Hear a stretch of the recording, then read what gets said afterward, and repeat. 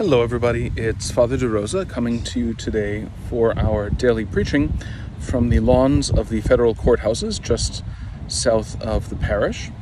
Uh, it's a beautiful day. It's one of the first really, really beautiful days that we've had in quite a while, so I had to get outside.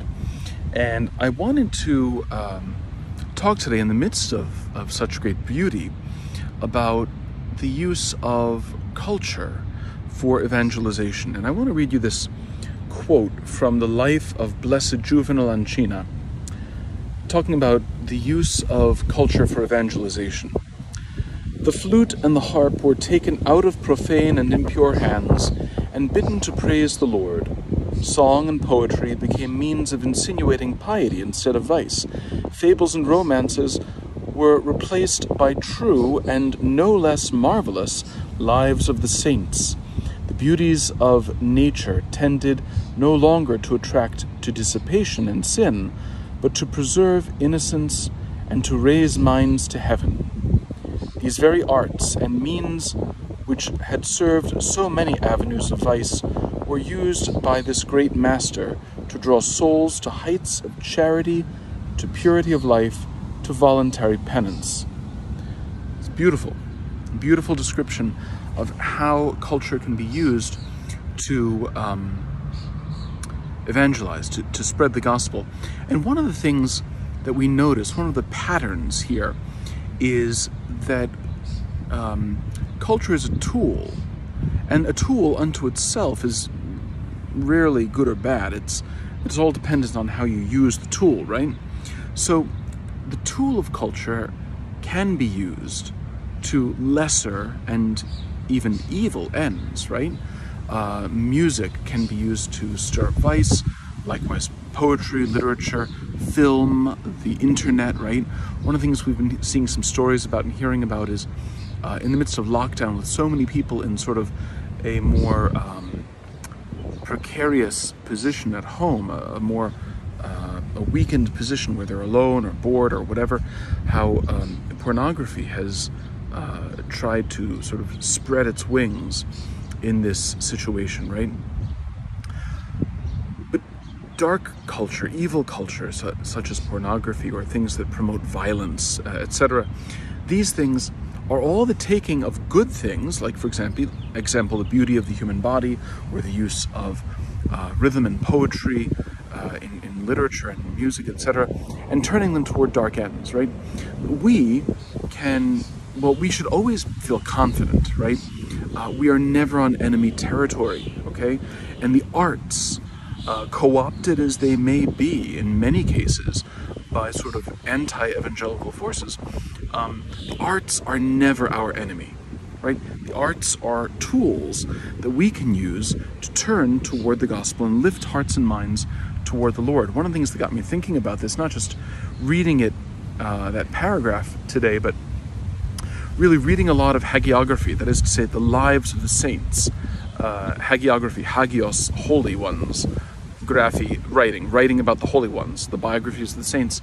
Reading uh, a lot of hagiography over the last couple of weeks, um, you know, what is hagiography except turning all of our words and our literary prowess toward describing lives of great holiness, right?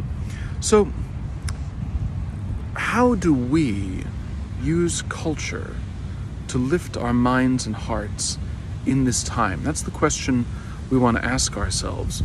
It's been really nice the last couple of weeks. Occasionally, I'll have uh, what I call a socially distant happy hour at the rectory with some parishioners who live in the neighborhood. We get together, we everybody brings their own beverage, we sit at six feet apart, and we just talk. And we talk about philosophy and politics and history and local living and foodie type stuff and whatever, right?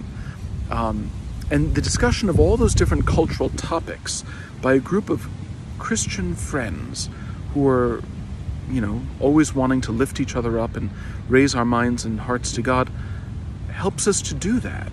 It's beautiful, right? Um, likewise, today, a parishioner stopped by who uh, is, has to work here in the area because of the nature of his job. And we sat and talked for an hour after he was done at the office about economics and science and again, other forces of culture, which many people can turn toward dark ends, but we turn toward holy ends. Another reason why this is on my mind, besides reading the lives of the saints, this particular paragraph from the life, of Blessed Juvenal, and then these conversations and encounters I've had with parishioners, is that we're coming up on the feast of the Ascension, when the Lord uh, um, shows us the way, right? He goes before, and where the head has gone before, the body has hope of following afterwards, right? He's literally lifting his body and soul into the glories of heaven. We also have coming our way the great feast, the solemnity of Pentecost, when the Holy Spirit, the, the stuff of our ongoing relationship with the Father and the Son, descends into our hearts uh, to perfect his gifts, to renew them, and help us on earth to live and to taste the things of heaven. So we have two great feast days for lifting up our hearts and souls to the Lord that are coming our way Ascension Thursday and Pentecost Sunday. Are we going to use them for that? Right? I, th- I think we can. Uh, and to help us with that at the parish, we're going to continue our usual practice of bringing in friends from the artistic community and having beautiful sung masses We've got choirs that are uh, sized to the uh, appropriate number of people for our social distancing. We're going to use the instruments of culture on the internet to live stream these things um, and have a beautiful opportunity to celebrate Ascension and to celebrate Pentecost. Uh, that's next Thursday is Ascension Thursday, and then I think May 30th or 31st, whichever Sunday that is, uh, is Pentecost Sunday. So join us for that. But you know, people will sometimes ask, why does the church spend money on culture? Why, even in difficult times, would St. Mary's spend money on uh, bringing in beautiful singers for these great feast days? Well, it's, it's to praise God, but it's also to lift the hearts and minds of all who encounter this online to the things of God and to realize that whatever's going on in our day, we have hope. Whatever's going on in our day, we are not alone. We are not cut off from the Lord because we are always touched by that Holy Spirit. And so we use the things of culture to lift our hearts and minds to the Lord now in anticipation of one day rising with Him forever. Go out, use those means, invite friends, share these uh, homilies, share our masses uh, with people by connecting them to our Facebook page, etc. And uh, know that you'll be doing a beautiful thing by lifting up hearts and minds using the instruments of culture, as Blessed Juvenal Ancina did and all the saints before us. God bless you. Know that I'm praying for you and thinking of you. Have a great day, everybody.